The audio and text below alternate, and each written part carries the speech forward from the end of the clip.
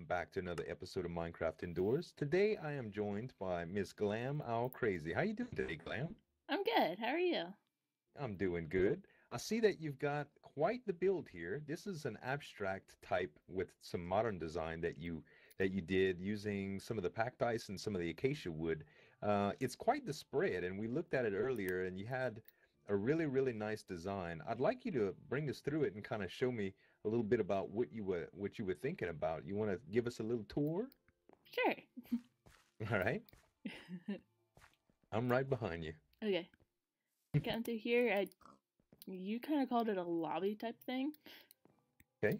Kind of like a foyer, a little Yeah. chandelier, some plant life, and this is a really unique fireplace design. Yeah. I like it. And then coming into this is sort of like the entertainment center area, and there's a little dining table in here. So Mhm. yeah, the the use of the cyan and the acacia, like it it almost makes me want to say that it's kind of like the Italian inspired colors, although it's kind of bright. Is this maybe a little retro too? yeah. Right? I Because the just green I also just really like bright colors. Yeah, well, most people do like colors. Like most of the videos that I put out, everybody's always like, Z, you need to use more color. But I'm like real monotone. So it's just two different building styles, I suppose. So the inst the the the entertainment center right here is pretty cool. I like the fact that you incorporated a little bit of bookshelves into it to make it seem almost like what you would see a normal um, entertainment center. Like people have stuff all around, maybe like DVDs and stuff like that on the sides. There's sound systems built into the whole thing, and it's just all around the TV, almost like a console, um, even though it's it's few separate components. But I like the way it works out, and the use of the rug kind of separates it from the room without putting a wall, and you get to have the open floor plan. So I do like Mhm. that too. Um, the center stairway is a real, real unique design idea too. Like most people have their stairway tucked in a corner, maybe next to a window, um, or it's like at least offset. So a center staircase is really, really different. Anything sp particular you why you decided to do it that way?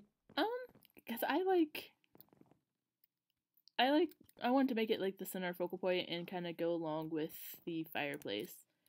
And I like it. I think works good. Like it really, really does. Before, I think you'd had some bookcases that were on it, and it didn't show the structural support, but you don't really need to because that big acacia log, which you have also running on the sides of the house and stuff like that, it just complements the theme really well. I think I think it makes a great centerpiece to the room. So past this, you have a kitchen, and the kitchen has pretty normal tile designs in what you'd see with a kitchen. And you chose to go with a lot of storage with the chest and the the wool shelving, which I like a lot.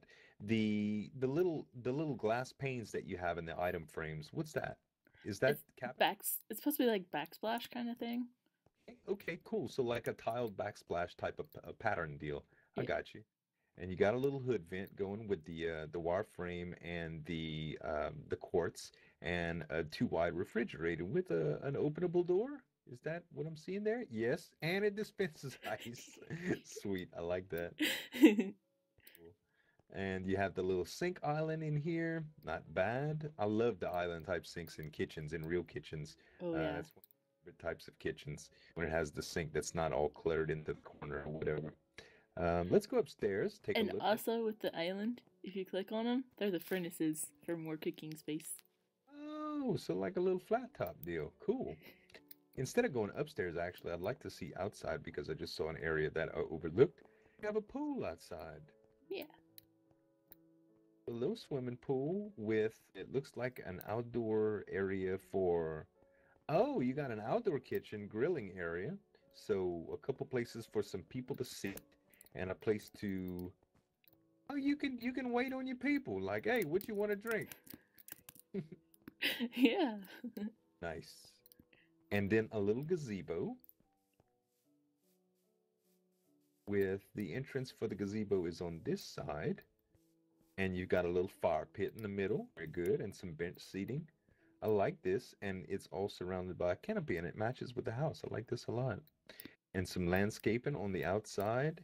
And where this, oh, this is a little pond, like a water feature that goes into here. hmm Pretty cool. Place that you could feed the ducks if Minecraft had ducks.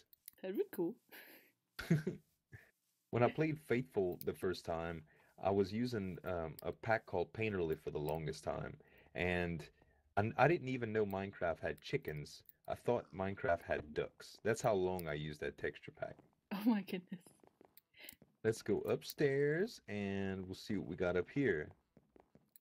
Most revealing bathroom in the world, ladies and gentlemen.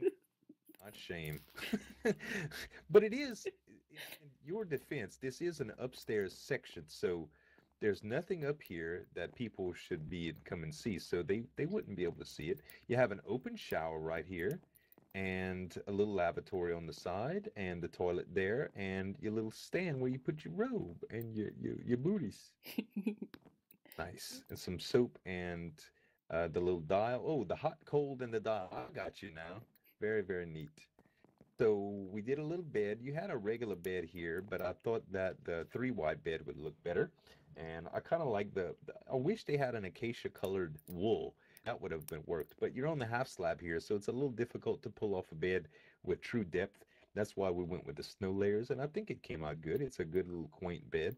Um, a little seating area here that you can look out the windows and check out the neighbors and be nosy and see what they doing. And then a little outside seating area with who's this fella? that was from uh Zal, I think. Nice. The pig. Ah, okay. Earlier, he had some potion effects coming off of him. I think the pig got a hold of your bar area. Maybe a couple of sips of vodka. I think so. All in all, girl, I like the build very, very much. It looks. It took me a little while to get the feel of it, but it's got a real nice architectural flow. Like you can get to any point in the house relatively easy. It's sectioned off with a really open floor plan on both the top and the bottom to where it shows just like two different dimensions for the room and all in all it's very very colorful so that's about it for the tour i guess anything else you want to show us mm, that's pretty much all for the house. Okay cool. Thanks so much for joining me and giving us the tour and uh, i guess we'll see you guys next time. Thanks so much for watching guys. This is Zueljin and glam signing off. Have a good one. Bye